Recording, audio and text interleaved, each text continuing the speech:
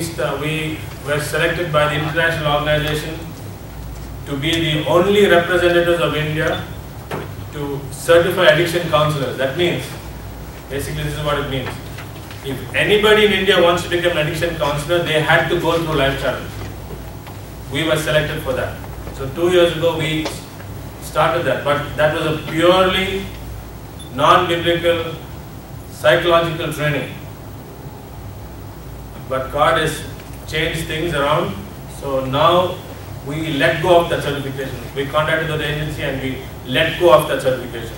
Now we are not the agency. We don't want to be the only certi- certifying agency here for that kind of counseling. Because we believe biblical addiction counseling is what we need. So that is why we have invited Dr. Troy and the Word of Life and uh, Mrs. Rose to come. And so we are doing 15 hours of training. Each session will be one hour. So uh, there will be a 40 minute lecture along with PowerPoint and then I will come up and then we will have about 15 to 20 minutes of any questions that we have during the training. So that gives you opportunity to, in case there is any phrases you don't understand, that is a plan. Okay? So um, to start off, wanted to give you the truth about addiction so that all of you will understand what addiction is. I know all of you know what addiction is, but we definitely have to give you a, a basis of what addiction is. So this is a seminar that Life Challenge has done in over 60 cities in India. We've gone to 60 cities, done this in colleges, schools, public places, community halls. So I'm going to just run, take you through this. The first point I want you to uh, understand the goal of this seminar is the three days training is I believe that God has brought all of you here so that you can start to fight the enemy of addiction in this country. Life Challenge is one of the few organizations who's doing a national fight against this enemy. So by the time I finish and by the time we go through the seminar, you will understand what a huge enemy we are fighting and how small the resources are and how small the people are. So uh, my, my hope is that all of you, by the time you finish the training, will not only have a uh, a certificate in your hand, but also you will be involved directly in fighting this enemy. That is our, our goal. So the first thing to understand is it's an enemy. Addiction is a very, very powerful enemy. Uh, the reason why we stress on that is because many of the college students, school students, they think it's a friend. Somebody introduces alcohol and drugs as a means of joy or happiness or party, whatever the situation is, they think it's a friend. But in reality, it's, a, it's an enemy in disguise. It's a ruthless enemy. The reason why I say ruthless is it has no mercy on the victim.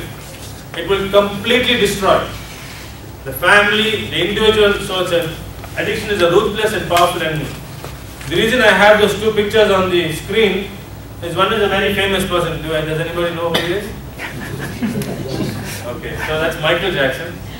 Very famous, very rich, I think he pretty much had everything he, he wanted. Uh, anything he wants. I saw once he walked into a store and there were thousands of people just waiting to see him. Some people fainted as soon as they saw him. One concert he came and he just came and stood like this. In the front row, 25 people fainted. they brought ambulance stretchers and carried him out. Uh, he, he's, on a, he's on a different level. But he died as an addict one of the worst addicts in the world. He had a doctor to stay with him 24 hours and inject him with what they give inside the hospital surgery unit was what he was taking. Without that, he cannot sleep. So that is Michael Jackson. On this other side is a man that you don't know. I also don't know. I saw him on the road in Jamshedpur, lying on the side of the road, alcoholic. I took a photograph of that. The reason is addiction will affect the most famous to the unknown, rich to poor, male or female, city or village. It has no barrier. Addiction affects all kinds of people, all society. So you can have a, a woman from a village or you can have a rich business, businessman, all of them can be equally affected by addiction. The Bible says, in the end it will bite like a snake. This is in Proverbs. There's an entire chapter on that. In the end it will bite like a snake, it stings like a viper. Because many people give a lot of excuses for their alcohol, especially if you take working people, they will say, I have a very tough job. And I'm not an addict. I just take a little bit in the evening, I relax and I go to sleep. Well, you can have all the excuses, but in the end, it bites like a snake and stings like a viper. I also have a quote here from Mahatma Gandhi. This is what he said about alcohol. And it's very rare to have heads of state or people come out so strongly against addiction, but he's one person who did that. He said that enemy of mankind, that curse of civilization. So he was very, very straight about that, and that's why he brought prohibition in Gujarat, and that's still there. One state in India that still has prohibition is because of Mahatma Gandhi and his influence. Unfortunately, that influence is not there in India, but he was the person who said that. So there are three areas that, that I have identified that addiction affects. Three areas. First one is self-destruction. The individual person who's taking drugs and alcohol, it completely destroys him. Self-destruction. The number of stories of people whose lives have been completely destroyed by addiction. You can read that every day, everywhere. Self-destruction. This is just a little bit of medical information just for you to understand. When you take alcohol or drugs, it is absorbed into the blood. And the blood blood flows all over the body so that the poison goes into every part of the body. It touches every organ. But the liver that is trying to remove it, it does a very thorough job but does it very slowly. If you drink a glass of alcohol, it is not going to remove it immediately. So in the meanwhile, what happens? This poison is circulating all over the body, affecting all parts of the body. Slowly, the effect comes down. But as a result, this poison has affected all the organs. I want you to just watch this uh, series of photographs. This is of a study that was done in England for, for meth addict. There's a drug called meth. So this lady was taking this drug, so they took a study on her. So they took a photograph of her every every couple of years just to watch her. And so this is the this is the lady when she started off. Slowly the the, the drug beginning to start, was beginning to affect her body. So this is a series of photographs. There have been a few studies done like this, and I think uh, after this one, uh, either they couldn't track her or I'm not sure what happened, but the lady on the other side is it's not age that is showing up there, it is actually the effect of drugs on her body. Addiction affects a person in a very deep way. If you see a young man taking drugs, alcohol, his life within 5 years, 10 years, 15 years will age so much more affected so much more, all areas he it begins to destroy. So that is the power of addiction. So the first area it affects is self-destruction. Second area is family devastation. It affects the whole family. It is not a solo drug. I used to run teen challenge centers in, in the US. One day one boy, he was 19 years old, he said, what's your problem? I said, why? He said, I'm taking drugs and I'm destroying myself. Why are you trying to keep me here? So I said, well, this is not just about you. This is a family. It affects the whole family. It's a family disease. Later we will look at that. It's a family disease. So there are, we run Life Challenge run uh, recovery programs in India. We have 150 beds. Many families come. Wives come and cry and say, please put my husband inside. He's because of his alcoholism, our entire family is destroyed, the money is gone, there is abuse in the family, there are so many issues. Because it's a family disease. If, a, if your society, if the Indian society has 10 crore addicts, that means 10 crore families. See, sometimes we forget that. Entire families are affected. So that's the second part. The family devastation is abuse of wives and children, unstable homes. Children have a like, high likelihood of falling into addiction because of their father's addiction. High levels of stress in the home, depression in the home, loneliness among children. Women usually have self-hatred. They avoid society. Many women have to do a dual parent role because they have to be father and mother. We have a ministry in Kasimedu in uh, Chennai. That is a fisherman colony. And there, I, almost every week there is suicide or murder. just in a small uh, fisherman's colony. Suicide from wives because they're fed up of the husband's addiction. And then there's murder because of all kinds of addiction related things. So then children have school problems, children have low self-esteem, children of alcoholic or, uh, or addicts, they have very low self-esteem because when they come home, their home situation is completely different from their classmates' home situation. They don't have the facility to study. The, the environment at home is not a, a facility to study. So they are probably behind in their homework. There are a lot of problems children of alcoholics and children of addicts have. Guilt, fears. So this is just that family devastation. I'm just mentioning all these things that uh, you will try to understand what addiction is. Third area is social damage and danger. So the first one is self-destruction. Second one is family devastation.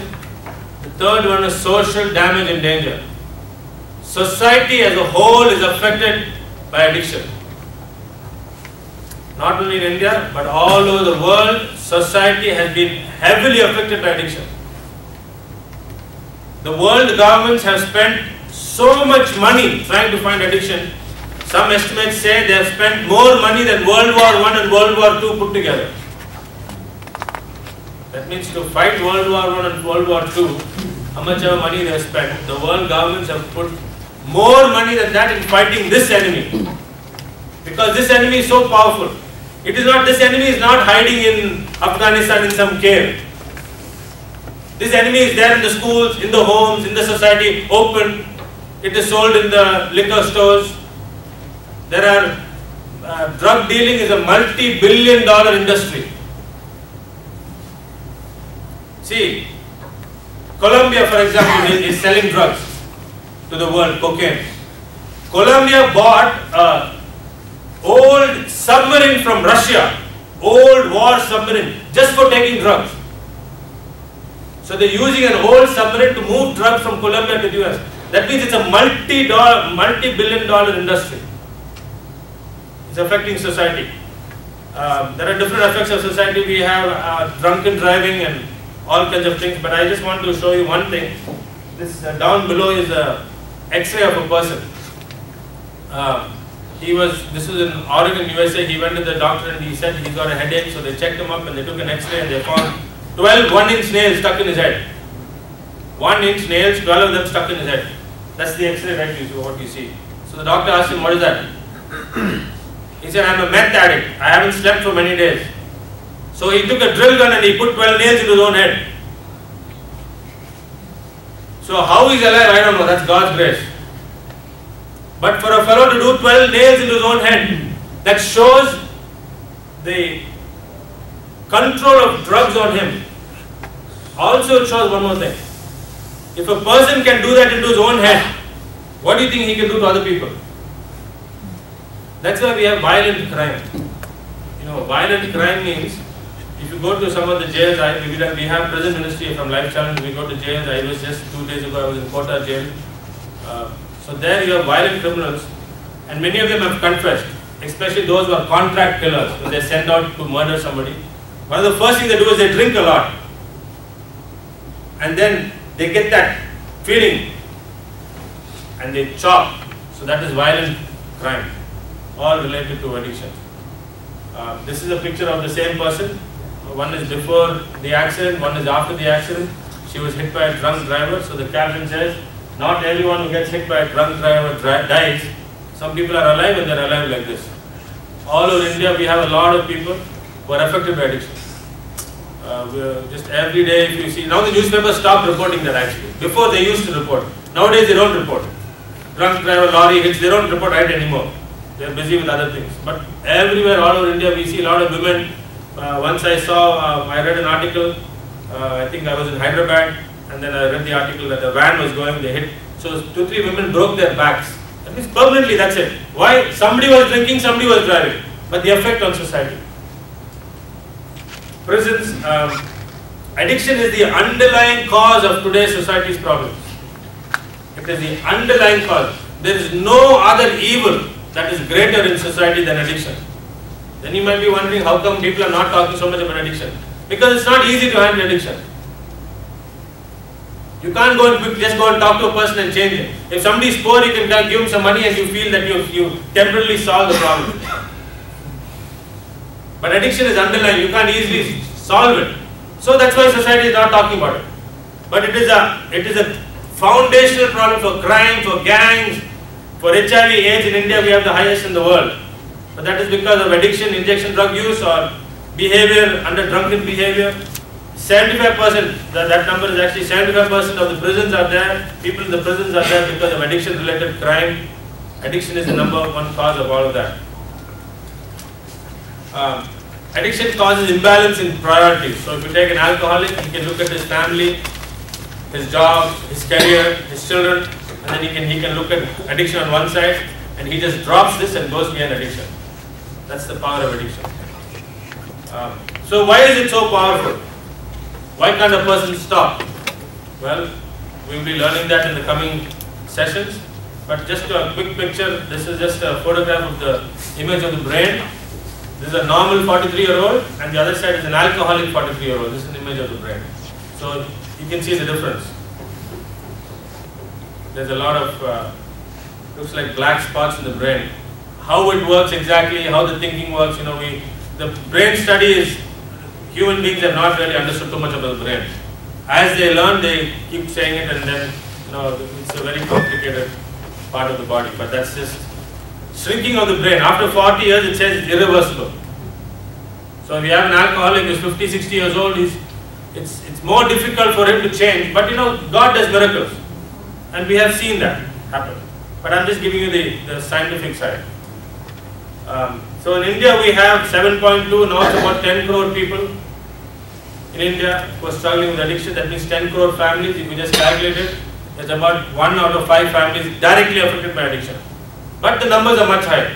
You can go to, I challenge you, you can go to any village, simply ask them, do you have any alcohol problem? We ask them. They say, sometimes they ask me, what a question you're asking. what do you mean, do you have an alcohol problem? Every house is an alcoholic. In some places if you go. This is the effect on children. This is uh, child labor. You know in India we have child labor. Many of the runaway street children, they run away. Why? Because their fathers are alcoholics. Because of abuse, they run away. Uh, then you have children being sold. Then you have girls being sold. See, there is a lot of, I know there are a lot of wonderful ministries on human trafficking. You hear a lot about human trafficking and other things. But behind that, there's a power of addiction. Every person who goes behind the addiction, every person gets involved in that, they're all under the poison and control of addiction. It's a very powerful industry, unchallenged. Addiction has been going unchallenged. There are many organizations working in India, it's very few. So this is the first time we're trying something like this, but hopefully in the coming years we'll be able to get more and more people passionate about fighting this war. Addiction is a disease. That's a scientific term again. I, want to say it's like a disease. It's a disease of the body, of the mind. So uh, the American, I think it's called the American Association. Uh, so they come up with a definition for addiction. So they used to call it a biopsychosocial disease, but now they've added biopsychosocial-spiritual disease. They added that. I, I read that last year. So now they added the spiritual part. Now, so that gives us the freedom to talk about spiritual things. I don't know how they are going to answer the spiritual disease part. I don't know what they use. They use higher power and different things, but it's a disease that affects all areas of a, of a human being.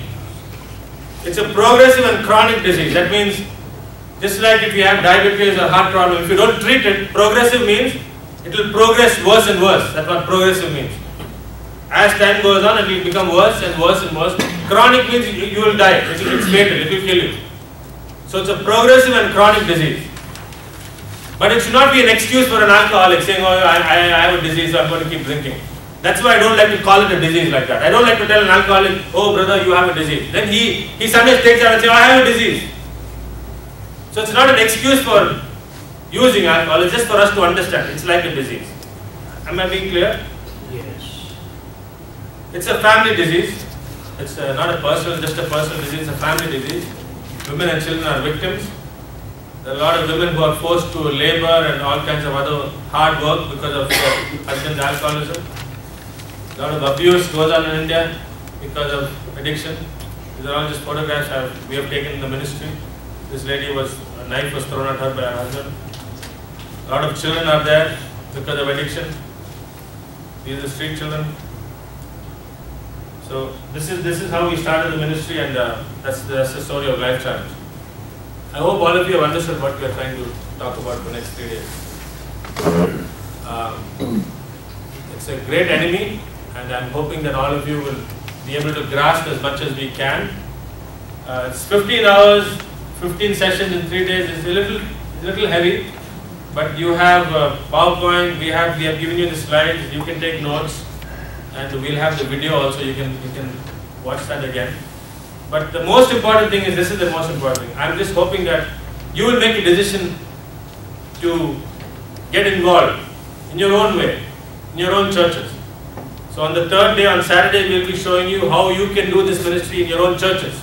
We're not saying that all of you have to start a Life Challenge residential home, but we're saying that in your church, how can you help those who are struggling with addiction around your church? That's what we're trying to teach. So from here, when you go, you can start a small group in your church, you can start a small group in your home, you can start small groups if you are passionate about it. We don't want to put any restriction on, on, on who can do it. If you are passionate, if you have paid attention in the three days, then we want to help you to start a small group. And those that you cannot handle, then you can send them to Life Challenge Center. Then we have a residence room for that. So those who you can handle, you will handle. So that's that's the goal of the three days. Any questions? We're going to need a lot of your help in this seminar because this is my first time in India. So just assume we know nothing, we don't understand your culture. What we're going to be doing is see God has worked in our lives and taught us a lot of things over the last 15 or 20 years about this particular subject. And we're going to be sharing that with you. But as God taught us, we fits into our culture. Your culture has differences. So the question is, how can we take what God has given us, give it to you, and then modify it in such a way that it is useful to you? We're here to help you guys, to partner with you guys, to help out Life Challenge to actually get a training school going here to train people here in India. But we have to admit, we're pretty much ignorant about your culture. We're going to make some changes and try and adapt, but you're the ones that are going to have to help us to say, how can we take what God gave us and then you can apply it in your churches, in Life Challenge, and other places like this. As I said on this slide, our objective is to share what we have learned that might be applicable to biblical counseling in the treatment of addictions in India. Now, particularly, we have this on PowerPoint because we realize some of you may not be able to understand me, and I'll try to talk slow. Okay, and hopefully you can read on the PowerPoint what we're talking about here as we go along. Now realize again, I, the research that I've done on this, I've done on the internet. I haven't been here, so you know much better than I know about the addiction problems in India. But I wanted to learn something about it and get some statistics here uh, that we have. The traditional family is breaking down in India according to the internet, resulting in problems, many problems and up to a 900% increase in divorce in India. India had the lowest divorce rate, one of the absolute lowest one. And as things are changing, unfortunately, as things have gotten westernized, it's our fault. They've gotten westernized and more divorces come in. What do you think the statistic is in America for divorce? Around 50% of people have been divorced in America. That's how bad it has gotten there. Domestic violence. At least 55% of unmarried women and 66% of married women have been victims of domestic violence here in India. A statistic that we use in our own domestic violence program is that 80% of domestic violence is alcohol related. Sexual abuse. As many as 70% of married women in India between the age of 15 and 49 are victims of beating, rape, or forced sex. Those are high numbers. The huge diversity in religions and traditions make resolving problems like this extremely difficult. But one of the positive things is that counseling has grown more and more in acceptance in India. So let's look at alcoholism here. It is increasing. 21% of adult men and around 2% of women drink. But the problem is that's about the same as the United States. But the problem is that most of them, at least half of them, drink to the point of intoxication. So it's not just a few drinks. Most of them have a real drinking problem. 14 million drinkers need help. You think maybe we need a few people to help? Like Brother Vinish was saying, uh, how are we going to reach all the people of India? I'm suggesting it starts with the church. I'm suggesting that there are more churches than there are alcohol centers or anything else. And so if you can do what we do, where we have a fully licensed drug alcohol outpatient clinic in our church, and you can start the same way you started. You know how we started? One support group. And that one support group then led to more people in the groups. We actually started with one and we called it the uh, addictions and codependency. I'll explain codependency later. Uh, and it grew, so it split into two groups and then into three groups. And then people in the group wanted individual counseling, so we had to train counselors. So out of all that, we had to get our own institute because there wasn't much out there on truly biblical counseling. You're going to find out today that everything we do is based completely on the Bible. That's what we fit totally into the church of everything that we do. Only we have to go deeper in the Bible than most people have done and gone in the past. Sale of alcohol has increased 8% in the last three years.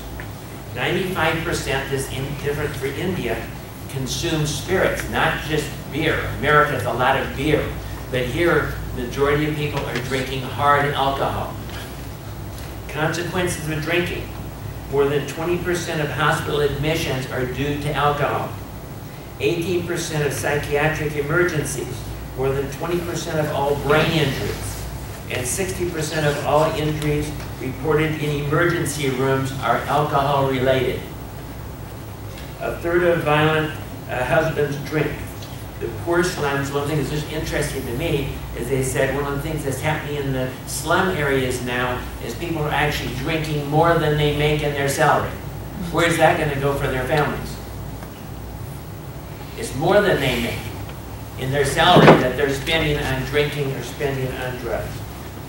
Drug epidemics in some areas, especially in the northern states, uh, states of uh, Punjab, okay, uh, with more than 70% of its young people abusing drugs, heavy drugs like heroin, opium, alcohol, or marijuana. 13.2% are below age 20. So there's a great need for biblical addictions counseling in India. That's the reason we came. Uh, the National uh, India Drug Addictions Program uh, funded 483 detoxification in 90 counseling centers. Almost half the attendees are being treated for alcohol dependency, but the success of these secular programs is very low. Doctors working with addicts in government hospitals report a complete lack of non-pharmacological care and training. Once we treated them, there's no social worker, so we just send them to AA as Alcoholics Anonymous. It comes from the United States. It started out absolutely biblical, directly from the Bible. But to draw more people in, they decided instead of trusting in God and Jesus Christ, that they were going to trust in some higher power. You know that the higher power can be your doorknob? I don't know what your doorknob is going to do for you, but that's, uh, it can be anything. It can be the group. And so their effectiveness is dropped hugely as to what they can uh, do. Since Jesus was replaced by a higher power, an AA survey showed that 81% quit the program in the first years. That means 81% that come are not being helped. 33% of those that continued and remain in the program remain absent over 10 years. So it still is helping to a certain degree because they still have some biblical principles that are built into it, even though they're really not relying on Christ. Another study found that those staying had a 49.5% year, one-year absence rate compared to a 24.5% if they were untreated. So again, that means it only helped about 25%. In our drug alcohol program that uh, uh, uh, Rose, who uh, runs our drug alcohol program, has a, around a 90% success rate one year after treatment. So it shows you the difference when you really relying on Jesus instead of on something else. Cognitive behavior therapy, that means how you think. Just secular treatment has a 37% recovery rate, to give you an idea. The model that we have produced here is based on the church. We don't do anything that you cannot do in your church. In fact, we've kept ourselves small. We didn't want to grow because we want to be a model that we can just say, if you want to do this in the church, we're doing it. We're not doing anything. We don't have big funds. In fact, our entire counseling center uh, is self-sufficient. We don't get one penny from the church. In fact, we give the church a 10% of the money that comes into our counseling center. And that way, if the church has problems, we don't get eliminated as, as something that they don't really need in the church. Uh, we have licensed marriage and family therapy, our drug and alcohol clinic, uh, court-approved veterans intervention, court-approved sexual offenders, uh, parenting courses. Uh, let me tell you a couple stories of two ladies uh, to give you an idea of the thing and what God can do. This first lady, she wouldn't mind me bringing this up. Her name is Bonnie. And she had a rough life. In fact, she had her first baby in prison. And she had a fairly rough husband. He came home one day because he ran out of bullets. He had killed four people and he needed more bullets to go back and kill the last witness. He is in prison for the rest of his life. I believe she was on heroin. And she was on heroin.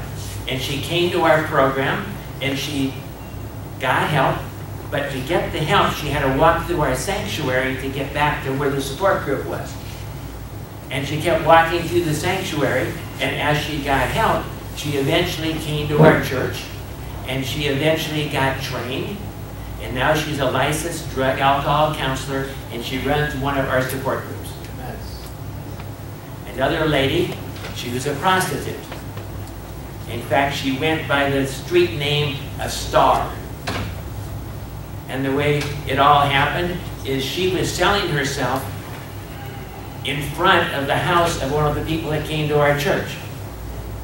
So this lady went out and said, uh, uh, you know, uh, you know, can I help you tell them about Jesus? She wasn't interested at all. So the lady says to her, how much do you get for a trip? And she gave a number, maybe $50 or something. She said, I'm buying you. I'm paying you $50. For $50, you have to go to church. And so she got the $50. so she went to church, and she got saved, and she was on all sorts of drugs and everything else. I think she's also on methadone treatment and so on. And she got totally delivered. Uh, today, she actually left the area because she went down to help her mom. But she's married, she's totally delivered, living for God. Those are the kind of things that God can do when you somehow get him in there. What's the reason that we have them in the church? Because we believe this is all integrated, that this is all part of salvation means to be made completely whole. We're going to get into that a lot later. And so, and so to be made whole, this is part of being made whole. This is one of the devil's most strongholds that people cannot really break out of by themselves. Uh, Right now, what we're doing is that we've been helping different people start counseling centers around the United States. In the last years, we've started a center. We have uh, a whole church that's actually training about 20 or 30 people in their church. In North Carolina, we have a center now in Nigeria. We have a center in Kenya. And we're hoping to see you guys take the ball and run with it and start doing things here in India. That's the reason that we came. But the question is, does this really belong in the church? How many of you sort of come from a denomination or some area that basically we want nothing to do with counseling, right? Because you're afraid it's going to be secular. Instead of using counseling, although I'm going to use the term, I want you to say in your head, Bible application. Counseling equals Bible application because everything's going to be directed directly from the Bible. We have Bible verses to back up everything we do. In fact, God gave it to us over the period of the last 20 years because we didn't feel that was being done in the area of biblical counseling, and we didn't want what was being done in secular counseling. So a lot of this is going to be new. You maybe never heard it before. We published four books, and we have books on a table over here you can look at uh, some of the addiction uh, counseling that we have. Another good news is there are a lot of good materials now that you can just take one of our books uh, and to use that and it will give you the entire curriculum. All the Bible verses are right there. It puts it all together for you. But what does the Bible tell us? This is Isaiah 9 6. For unto us a child is born, unto us a son is given, and the government shall be upon his shoulder. And his name shall be called what? Wonderful Counselor, the mighty God, the everlasting Father, the Prince of Peace. So if Jesus did it, do you think it's okay for us? Isaiah 11, 2. The Spirit of the Lord shall rest upon him, that is Jesus, the Spirit of wisdom and understanding, the Spirit of counsel and might, the Spirit of knowledge and the fear of the Lord. This is what Jesus said about his ministry. The Spirit of the Lord is upon me because he has anointed me to preach the gospel to the poor. He has sent me to heal the brokenhearted, to preach deliverance to the captives, and the recovery of sight to the blind, to set at liberty them that are bruised, to preach the acceptable year of the Lord. I couldn't describe counseling any better than that, because that's what it's all about, is helping people, delivering the captive, healing the brokenhearted, setting the captive free, setting people at liberty. And Ephesians 4, 11 to 13. And he gave some apostles and some prophets and some evangelists and some pastors and teachers for the perfecting of the saints, for the work of the ministry, for the edifying of the body of Christ, until we all come into the unity of the faith and of the knowledge of the Son of God, unto a perfect, that is, mature man, unto the measure of the stature of the fullness of Christ. That's what the church is all about. So where does counseling fit into the church? In the leadership of the church. In fact, we suggest that every church needs at least a pastor that has adequate training. How many of you pastors had more than one course in counseling? I'm not seeing a lot of hands. Okay? That's because most seminaries or training schools give you almost no counseling. And so what do most pastors do in counseling? You give some advice based on your experience. And what if you weren't a drug addict or an alcoholic before? What are you going to tell the people? You know what most pastors tell them? Try harder. You know what's the absolute worst thing you can say to an addict that'll actually make them worse? In fact, it's so bad that if I get somebody in that's in denial, and they'll say, well, no, I can just drink a little bit and I'm not really addicted, you know what I'll tell them? Let's run an experiment. I want you to go home and I don't want you to drink anything or even think about drinking for the next week. I want you to try really hard not to drink or not to even think about drinking. You know what I know is going to happen? They're going to drink more that week than they ever drank in the rest of their life. and they're going to be finally convinced that they really have a problem. Because the harder you try, we're going to find out when we talk about addictions, what are they doing? They're trying. It's their effort, it's their flesh. They're trying to make themselves okay. So we trying to try harder? But if you don't have this training, if you don't understand these things, you're going to be telling me exactly the wrong thing to do.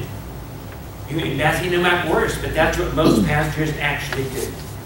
Now, another thing that we actually teach here is what we call Bible-based life coaching, which is the same thing as discipleship.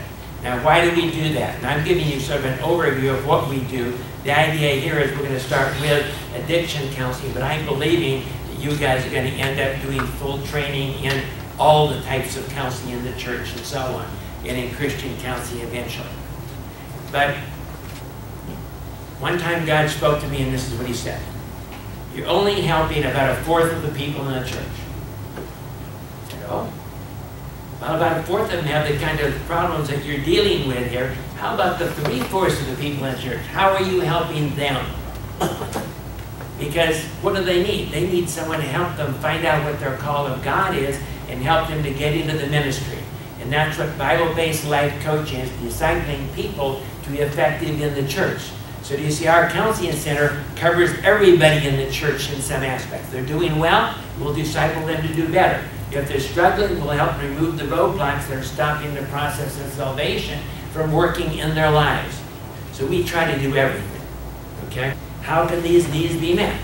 Through either Bible-based counseling or Bible-based life coaching. What are the options in the church? Well, you have pastoral counseling, uh, Christian support groups, Bible-based life coaching programs, lay counseling programs. Lay counseling simply means somebody doesn't have enough, they're not a professionally trained counselor. They have what, we offer like a certification and they are helping people for free in the church. We, we work in our church, uh, some of the pastors will give you a couple sessions of advice, but if it's a major problem, they'll send them to the counseling center. Degreed Christian counselors, anger and domestic violence programs, licensed drug and alcohol, alcohol programs, and parenting classes. We offer that all as an integral part of our church to people. And we do charge for our fees and so on, that's how we're supported. But people will pay enough for those different things that we can be totally self-sufficient and our counselors get paid and so on and so forth. But see, we help everybody. Anyone that comes through the door, if they don't have money, if they don't have finances, we send them to our students, our lay counselors, but we still supervise the lay counselors. If they come in uh, and they have medical insurance, we can take the medical insurance. So we can cover all these things. We don't expect you're going to start there. The place we always start is with a support group in the church, which is what we're going to be talking about most of the time here. We're not going to get into all these different issues. What are the what are the key benefits in learning to counsel? You carry out God's call to heal the brokenhearted and set the captive free. In other words, you're just learning how to really effectively apply the Bible in the life of people and their lives are changed. You fill the gap to do what's missing in the church and the society to help people find their calling, perfect the saints. That's the Bible-based life coaching. You draw people into your church by meeting their needs through counseling, life coaching, and support groups so they can get saved. We believe this is the most effective way, one of the most effective ways of evangelism. Everything we do in our church is evangelism. Every program we're going to give you has evangelism built directly into it because think of this. What if I help somebody and I make them more effective in their life, but I don't get them saved? Have I really helped them? I'm just making a better rat for the rat race of life that's going to hell. So, and we believe, see, what does salvation mean? He's made completely whole. And we want to make them completely whole. So salvation is based directly in everything that we do. And you're going to find you will draw a lot of people into your church to get saved. We get people from other churches. In fact, a number of our counselors and support group leaders aren't even from our church.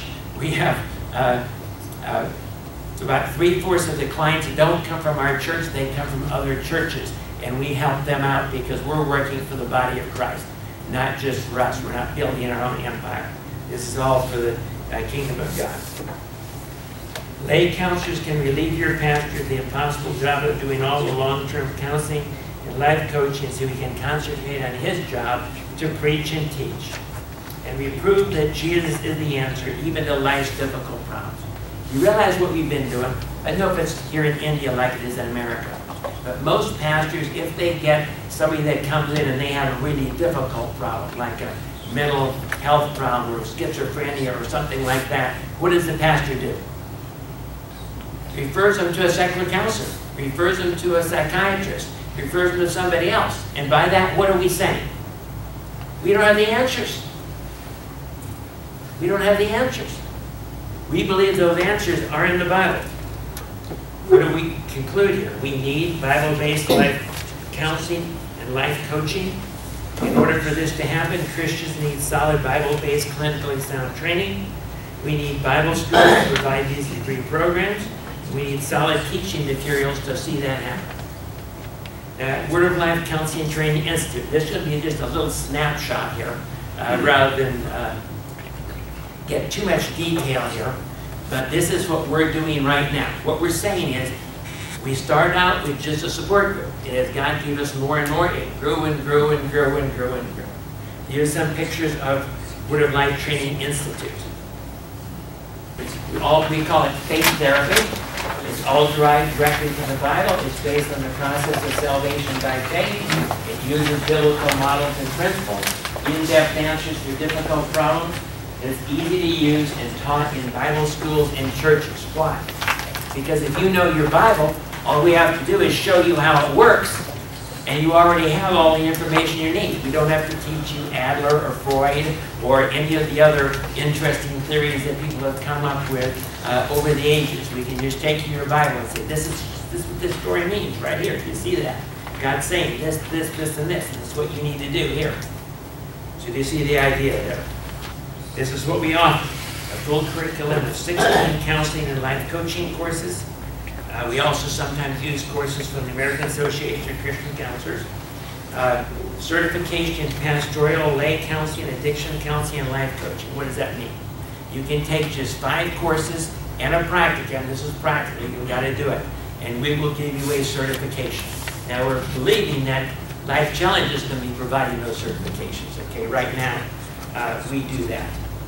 Uh, it can eventually lead to diplomas, bachelor's and master's degrees through Logos Christian College and Graduate School.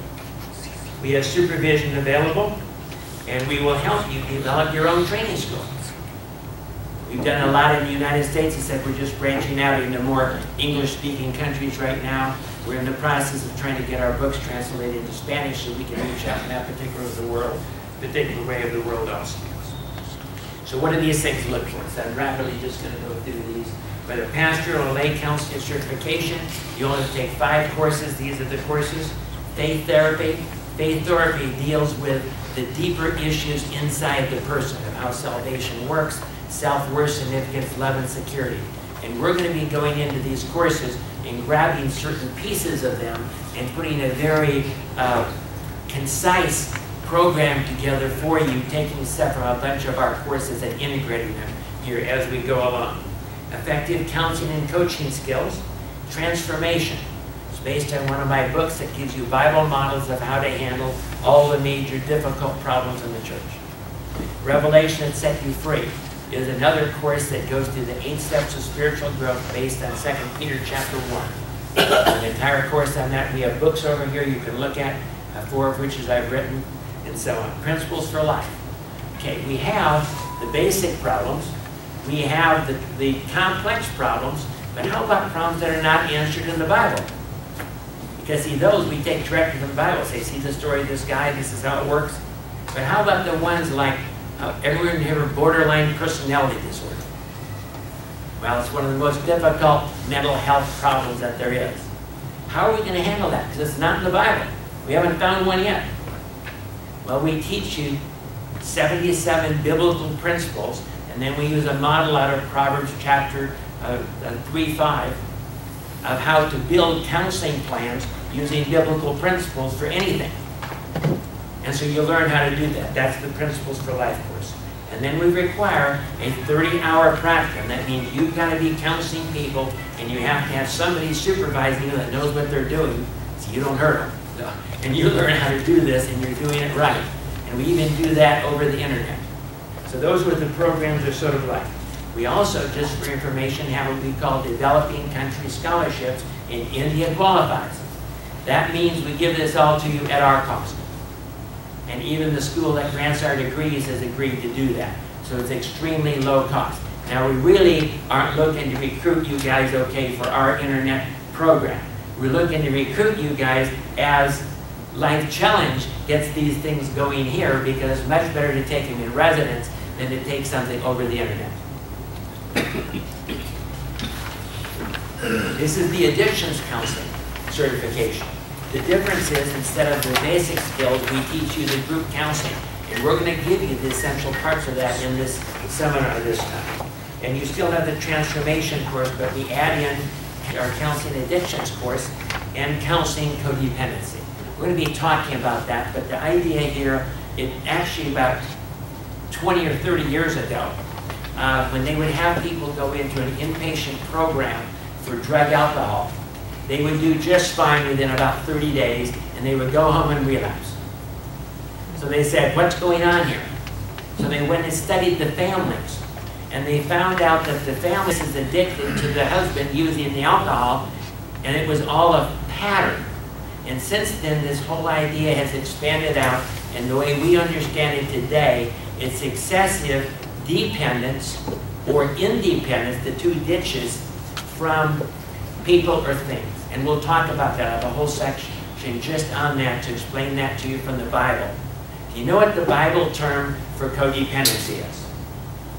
Any idea? It's idolatry.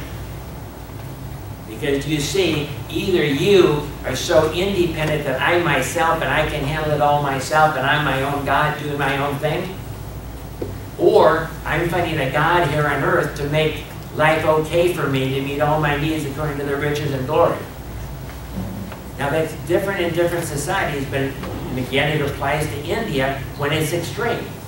You see what I'm saying? It's based on your culture as to whether this is extreme or not, and whether you're actually turning somebody into your God instead of relying on God, or you're making yourself into a God. You can handle it all yourself and you don't need God. And you're dealing with it through your flesh. Here's the Bible-based life coaching certification. I'm not going to really go into that, but we have a whole course to how to disciple people, how to help them find their calling, how to help them plan how they're going to achieve their calling through God as God calls them. It's a whole other area you guys can get into if you choose to do that. Here's the bachelor's degree to give you an idea. Uh, Logos requires 120 credit hours, but they give credit for previous college, give credit for life experience, give credit for ministry experience, and even for how well you know your Bible. Which means it knocks a lot of credits off so you can get the degree fairly rapidly. To give you an idea that possibly you could get an entire degree for $1,650 online or by DVD for about $2,050. If you already have a bachelor's degree, you can get a master's degree in this for $1,000 online or $1,100. That's an entire master's degree through Logos Christian College and Graduate School. But we believe that we're going to have that whole program here in India, and you'll be able to attend classes right here in India that way and all be connected and have this all together. That's the level that we're at at this particular point. And so we have students throughout the world from different countries that are taking our courses and getting their degrees, certifications in different places. So what's the next step? You got to decide. Yeah, I can come up here and say all sorts of things about our programs and that kind of stuff, but the question is, do you really care about hurting and lost people? Do you care about addicted people? I'm guessing you do, and you wouldn't be here. You really want to learn how to help. You can do a certain degree by just, if you don't have any experience, by just helping people. Let me tell you a little fast story about that, though, to show you the need. This isn't in the notes, okay?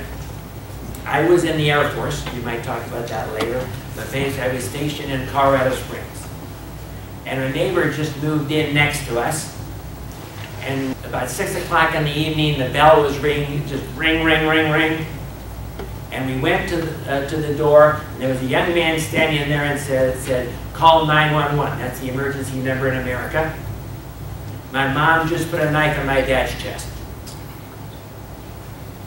And so we ran across over there, we called 911. The guy was laying on the floor, just absolutely pale, been stabbed in the chest. An ambulance got there, the hospital was only three or four blocks away, and the, the doctor said another 20 minutes he would have been dead. So what did we do? I realized we weren't counselors at that time, okay? But we were very dedicated to the church. We knew our Bible as well as we knew it, and we wanted to help. So we led him to the Lord. We got him into our church, which was a bit too more, more for them. They really didn't want to go that far. And, we got to be friends with them over a period of time. And we would get a call, you know, she was in the hospital, she fell in the ice and broke her arm. And then a while later, we get another call, and she had a blackout.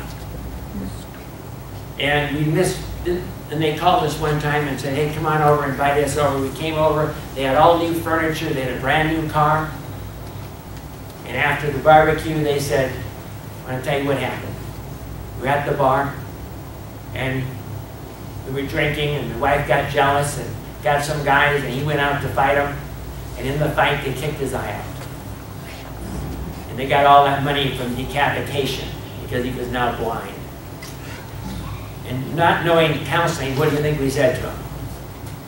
This is getting serious. You guys, you guys better split up or better do something. They were getting help. This guy was in the army, so he was getting secular counseling help to a certain degree. But see, we didn't understand. This was a codependent situation, it was a domestic violence situation, it was an addiction situation. If you don't know how to deal with those things, you really can't help them. And that's where we learned the hard way. We didn't know enough. We needed more understanding of these things to be able to really help these kind of people with these kind of struggles in their lives. And that was the beginning of when we got more involved and got some degrees in counseling and so on. We got into doing what we're doing. But we learned the hard way. We didn't know enough. And we're hoping to give you lots of information to be able to get started at this particular point. Because God called you to meet these needs. You know who the people are that do the best at this? The ones that have had the problem before. Or the people that you're like a magnet. Everybody just comes to you and uh, wants to talk to you. You're the type of person that to open everyone just comes to you. But see, there are people in this room that God is calling. Maybe even to make this a full-time ministry, or at least make it a part-time ministry of helping in your church, or setting up a support group, which is the beginning of this whole thing and the way we started. Do we need support groups, life coaches, or counselors to help hurting people in our church or organization? Am I called, and what am I willing to do to follow God's call in my life? You can look, go to our website if you want to and look at, we have 15 courses, 10 lessons each. That's about 120 hours of videotape on our website. And we're giving all of that to Brother British and Life Challenge. They'll have it all available here.